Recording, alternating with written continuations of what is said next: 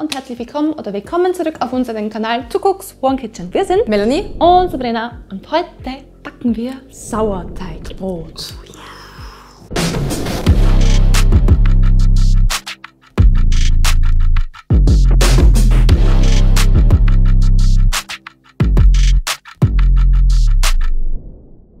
Unser Sauerteig-Journey oder Reise hat circa vor zwei bis drei Monaten begonnen. hm, circa, ja. Und für mich oder für uns war Sauerteigbrot selbstbacken immer ein Mysterium. Oh ja, Wenn man das, das nie stimmt. vorstellen können, wie man überhaupt das Sauerteigansatz herstellt und daraus dann ein eigenes Brot macht. Da braucht man so die Tipps und Tricks, um so ein richtig Ja. leckeres Sauerteigbrot zu zaubern. Ja, wir zeigen euch heute ein Sauerteig-Basis-Grundrezept. Und wir können euch jetzt schon verraten, dieses Sauerteigbrotrezept wird euch gelingen. Garantiert. Und ich würde Oh ja. sagen, legen wir los. Let's Go, go. Das ist nur den Wurscht. Mach nichts. Tschüss. Tschüss. Äh, ja.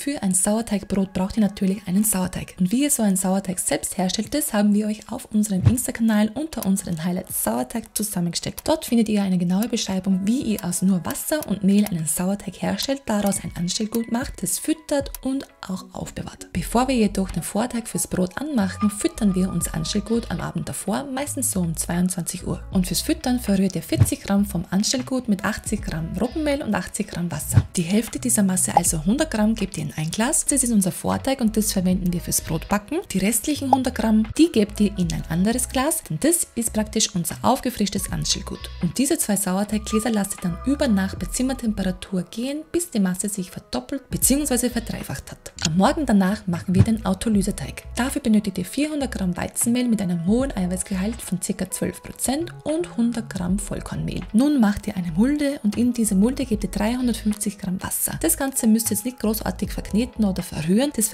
ihr nur so lange, bis alles gut miteinander vermengt ist. Den Autolyseteig deckt ihr entweder mit einem verschließbaren Deckel oder so wie wir mit einer Duschhaube ab und lasst ihn eine Stunde ruhen. Danach könnt ihr den sogenannten Window Pane Effekt machen. Dabei befeuchtet ihr eure Finger und Hände mit ein bisschen Wasser und zieht einen Teil des Teiges hoch und wenn sich der Teig so weit dehnen lässt, dass ihr quasi schon fast durchsehen könnt, dann ist der Teig bereit für den nächsten Schritt. Nun macht ihr mit befeuchteten Fingern so kleine Mulden und gebt 100 Gramm Sauerteig hinzu. Das ist quasi der Vorteig, den wir am Abend zuvor zubereitet haben. Den Sauerteig und den Autolyseteig knetet ihr jetzt mit den Händen für eine Minute gut durch, bis alles gut miteinander vermengt ist. Erst danach fügt ihr 10 Gramm Salz hinzu, gebt ein paar Spritzer Wasser oben drauf, damit sich das Salz schneller auflöst und knetet den Teig für weitere 3 Minuten mit den Händen. Den fertig gekneteten Teig deckt ihr nun entweder wieder mit einem Deckel oder wie wir mit einer Duschhaube ab und lasst ihn 2 Stunden ruhen. Nach den 2 Stunden könnt ihr wieder sehen, dass die Autolyse ihr Wunder bewirkt hat, nämlich der Teig ist so schön dehnbar wieder geworden. Den Teig gebt ihr nun auf die Arbeitsfläche und jetzt seht ihr schon, dass der Teig kaum Spannung hat. Deshalb wenden wir jetzt die sogenannte Bench Kneading Methode an. Dafür nehmt ihr den Teig oben, dehnt ihn aus und klappt ihn nach unten, dann nehmt ihr ihn links, dehnt ihn aus und klappt ihn nach rechts und jetzt wiederholt ihr das Ganze von oben nach unten, von links nach rechts und jetzt seht ihr schon, dass sich der Teig kaum noch dehnen lässt und genau das wollen wir damit erreichen. Nun schleifen wir den Teig zu einer glatten Kugel, was noch zusätzlich für Spannung sorgt. Dann befeuchtet ihr eine Auflaufform mit ein bisschen Wasser, gebt die Teigkugel in die Auflaufform hinein und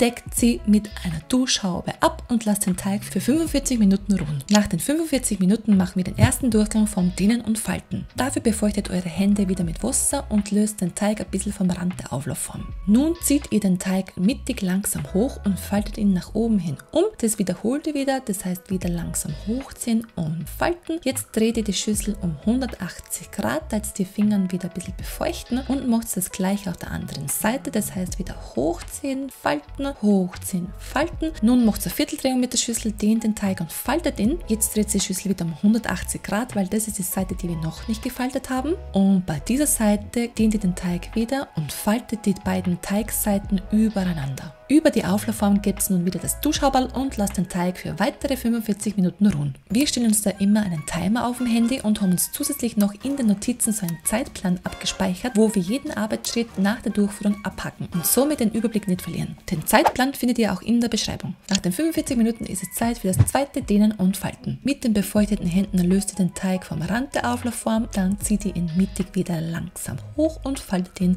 zieht ihn wieder hoch und faltet ihn. Das wiederholt ihr nun wieder von allen vier Seiten und bei der letzten Seite faltet ihr die Teigränder wieder übereinander. Nun gebt wieder das Duschhaubel drauf und lasst den Teig für weitere 45 Minuten ruhen. Den Arbeitsschritt in den Notizen abhaken und den Timer auf 45 Minuten stellen. Nach weiteren 45 Minuten ist es Zeit für das dritte Dehnen und Falten und ich glaube, jetzt habt schon den Dreh raus. Den Teig wieder mittig dehnen und falten und das Ganze wiederholt ihr wieder von allen vier Seiten. Bei der letzten Seite faltet ihr den Teig wieder übereinander. Und jetzt wird es wieder Zeit für das Duschhaubel. Duschhaubel drauf, Arbeitsschritt abhaken und Timer auf 45 Minuten setzen. Nach den 45 Minuten ist es Zeit für das vierte und auch letzte Dehnen und Falten. Und was so schön ist, einmal noch dehnen, falten denen falten, denen falten, denen falten, aber bei der letzten Seite wie immer übereinander falten.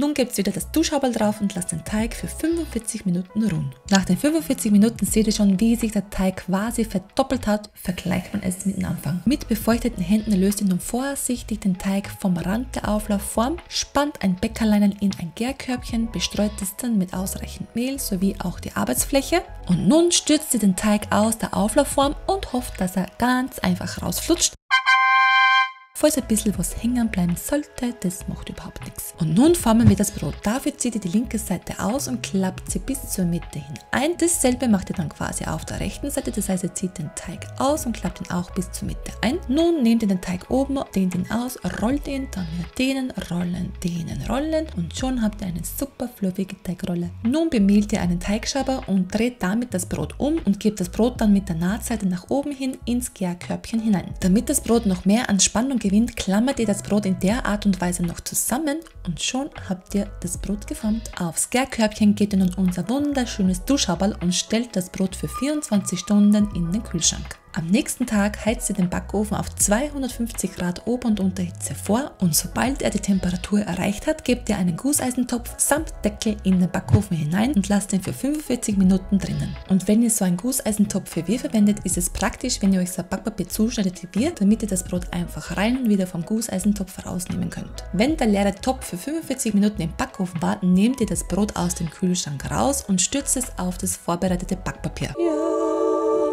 Und jetzt schneidet ihr das Brot seitlich ca. 1 cm tief ein. Dafür könnt ihr entweder ein Brotmesser verwenden oder alternativ auch ein scharfes Messer oder Stanley-Messer. Zusätzlich könnt ihr noch auf der anderen Seite so kleine Schnitte machen und ein Muster einritzen. Und nun nehmt ihr den heißen Topf aus dem Ofen raus, gebt das Brot vorsichtig in den Topf hinein, gebt den Deckel drauf und nun stellt ihr den Topf mit dem Brot zurück in den Ofen. Nach 20 Minuten nehmt ihr den Deckel vom Topf runter, schaltet die Temperatur vom Backofen auf 230 Grad runter und lasst das Brot für weitere 15 bis 20 Minuten im Ofen bzw. bis es die gewünschte Farbe hat. Nach der Backzeit nehmt ihr das Brot aus dem Topf raus, legt es auf ein Gitter und jetzt könnt ihr das Brot entweder eine Stunde auf dem Gitter auskühlen lassen oder ihr wickelt es noch zusätzlich in ein frisches Geschirrtuch ein. Das macht das Brot haltbarer. Und fertig ist unser selbstgebackenes Sauerteigbrot.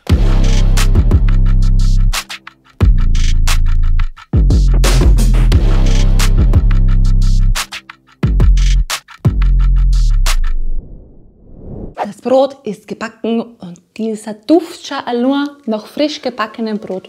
Das hat man uns. Herrlich. Herrlich. Und, und schaut euch das mal an. Herz das? Und dieser Duft. Der Duft ist einfach Ja. Und der Blasal da drinnen. Uh! Dürft ihr scheinen? Ah, Es ist sehr, sehr Die bessere. ah. Hey! Die Fluffigkeit da drinnen. Es kann vielleicht auch sein, dass euer erstes Brot nicht so wird, wie ihr euch das vorstellt, aber Übung macht in dem Sinne der Meister. Das ist das wahr. Genau. Ja. Und wir haben verschiedene Mehlsorten probiert und verschiedene Falttechniken. Und jetzt bei diesem Brotrezept sind wir mit der Konsistenz drinnen vollkommen zufrieden. Eins fehlt noch. Was? Die Butter. Ich hole jetzt die Butter. Unten liegt's. Butter! Wo versteckst du dich? Two hours later. Diese Fluffigkeit, da biegt nichts, es ist nicht speckig, das ist einfach fluffig. Und wenn du mal so ein selbstgemachtes Brot allein hast, Es, ist schon los. es geht schon los mit dem Probieren. Entschuldigung, Ich warte hier, bis du fertig geredet hast. Das glaube ich jetzt alles nicht. Hey, und du hast nicht mal gecheerst. Das ist ein Wahnsinn. Okay, Bei Brot kann ich nicht nein sagen. schnell. Äh, Butter auf, schau. Tschüss.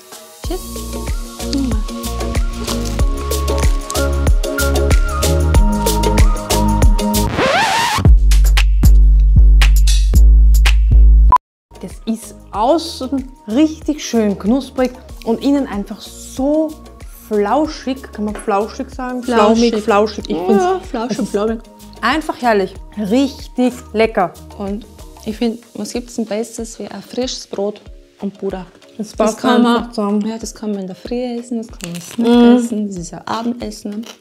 Herrlich. Mhm. Ja. Das Brot hat einen Check verdient. Aber so was von einem Check. Wir wissen, es gibt unzählige Sauerteigbrot-Rezepte. Aber wenn ihr ein Rezept braucht, das gelingsicher ist und richtig, richtig lecker, dann probiert das Rezept aus. Und falls ihr noch Fragen habt bezüglich Sauerteigbrot-Rezepte oder diesem Rezept, dann schreibt es in die Kommentare. Wir beantworten jede Frage liebend gerne. Ganz genau so ist es. Und wenn euch das Video gefallen hat, gebt uns einen Daumen hoch. Und ganz wichtig, abonniert unseren Kanal. Genau, bis zum nächsten Mal. Ciao, Baba. Tschüss. Butter und Brot. Butter und Brot. Kann man echt schon was, gell?